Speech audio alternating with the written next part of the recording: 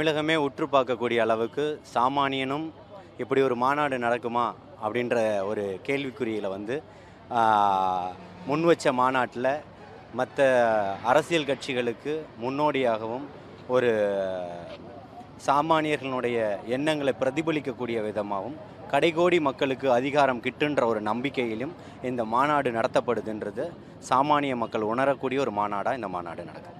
நிச்சயமாக நாம் வந்து இப்போ கிட்டத்தட்ட ஒரு இருபத்தைந்து ஆண்டு காலம் சமூக செயற்பாட்டாளராக செயல்பட்டுக்கிட்டு இருக்கோம். ஆனால் ஒரு அரசியல் கட்சியினுடைய மாநாட்டுக்கு வரணும் அப்படின்னு முன்னெடுத்து அவருக்காக பேசணும் அப்படின்னு பேசிக்கிட்டு இருக்கக்கூடியதில் நானும் ஒருத்தன். அப்படி பார்க்கும்போது எதற்காக அப்படின்னா இன்றைக்கி இருக்கக்கூடிய எல்லா சமூக செயற்பாட்டாளர்களும் ஒரு நேர்கோட்டில் நிற்கிறாங்க அப்படின்னா தமிழக வெற்றி கழகத்தை நோக்கி தான் நிற்கிறாங்க இந்த மாநாடில் என்ன மாதிரி ஒரு கொள்கை இருக்கும் அப்படின்னா இன்றைக்கி மாநாடு நடத்துறதுக்காக யார் இடம் கொடுத்துருக்காங்களோ அதன் அந்த விவசாயிகள். அது இந்த மாநாட்டில் நம்ம கலந்துக்கணும்னு நினச்சி வர இளைஞர்களுடைய வாழ்வாதாரம் வேலை இல்லாத திண்டாட்டம் கடைகோடி மக்களில் இருக்கக்கூடிய அதிகாரம் இல்லாத இன்னைக்கு இல்லை சாகிறதுக்கு கூட இன்னைக்கு அதிகாரம் தேவைன்னு இன்னைக்கு வந்து ஒரு படம் சொல்லிடுச்சு. ஸோ அப்படிப்பட்ட இடத்துல இருக்கக்கூடிய நம்ம அந்த அதிகாரமும் மெய்ப்பட வேண்டும் அது தன் வசமாக வேண்டும் அப்படின்றது தான் அப்போ அரசியல் கட்சியில் எல்லாமே எட்டாக்கனியாக இருந்துக்கிட்டு இருக்கக்கூடிய காலகட்டத்தில் தளபதி விஜய் அவர்கள் இந்த அரசியல் நடவடிக்கை எடுத்தது. நாங்கள் இந்த முன்னோடியாக இருக்கக்கூடிய நடிகர்கள் வந்து இங்கே ஒரு வெற்றிடம் இருக்குது வெற்றிடம் இருக்குன்னு சொல்லிட்டு அதையெல்லாம் ஸ்கிப் பண்ணி எஸ்கேப் ஆகி போனதுக்கு மத்தியில் தான் தமிழகத்தில் இந்தியாவில் மிகப்பெரிய ஒரு உச்சபட்ச நட்சத்திரமாக இருந்தாலும் இந்தியாவில் மிகப்பெரிய ஒரு தொகையை வாங்கக்கூடிய சம்பளமாக வாங்கக்கூடிய ஒரு நபராக இருந்தாலும் இன்றைக்கி கரண்ட்டில் இருக்கக்கூடியவராக இருந்தாலும் அதையெல்லாம் ஒரு வெளியில் போயிட்டு நம்ம வரும்போது செருப்பை கழட்டி விட்டுட்டு வர மாதிரி இன்றைக்கி பல நூறு கோடி ரூபாய் சம்பளத்தை உதறி தள்ளிட்டு மக்களுக்காக நான் வந்திருக்கிறார் இல்லையா? இதை நிச்சயமாக வரவேற்கணும். ஒரு அஞ்சு வருஷமாக இந்த டிராஃபிக்கை பற்றி நான் மக்களுக்கு சொல்லிக்கிட்டு இருக்கேன். ஏன்னா என் மனைவி ஒரு ஆக்சிடெண்ட்டில் இறந்துட்டாங்க. அது செல்ஃபோனை பேசிக்கிட்டு அலட்சியமாக ஓரமாக நிற்கும்போது ரெண்டு கார்காரன் போட்டி போட்டுக்கிட்டு வந்து அதே இடத்துல காலி பண்ணிட்டான். அந்த வழி எனக்கு எங்கே போனாலும் அந்த டிராஃபிக்கை சொல்லணும்னு ஆசை. அதேமாரி மாநாட்டில் நான் வந்து ஒரு விஜய் ரசிகர் தான் மாநாட்டிலையும் நிறைய இதேமாரி மக்கள் கூடுவாங்க.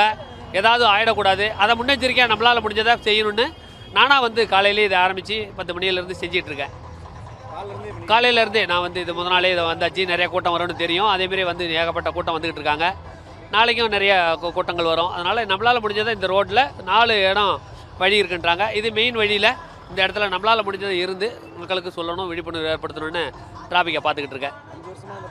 ஆமாம் எங்கே வேணாலும் நான் பொதுமக்களை எங்கே சந்திக்கிறனோ பஸ் ஸ்டாண்டு கல்லூரி முடிகிற இடம் கல்லூரி பள்ளிக்கூடம் விடும்போது அந்தந்த இடம் பஸ் ஸ்டாண்டு அந்த மாதிரி என்னால் முடிஞ்சது ரெண்டு மணி நேரம். விருத்தாச்சலத்தில் தொடர்ந்து நான் ரெண்டு மூணு வருஷமாக அங்கே பண்ணிகிட்டு இருக்கேன். அப்புறம் போகிற இடங்களில் சென்னைக்கு போவேன் பீச்சில் போய் நிற்பேன் இந்த மாதிரி சிக்னலில் எங்கேயாவது நின்னோம்னா மைக் வச்சுக்கிட்டு எல்லாத்துக்கிட்டையும் இந்த ஹெல்மெட்டை போடணும். கவனமாக போகணும் கவனமாக வரணும் செல்ஃபோனை பேசிட்டு போகக்கூடாதுங்கிறத விழிப்புணர்வு ஏற்படுத்திக்கிட்டே இருக்கிறேன். ரொம்ப எக்ஸைட்டிங்காக இருக்குது. சூப்பராக இருக்குது.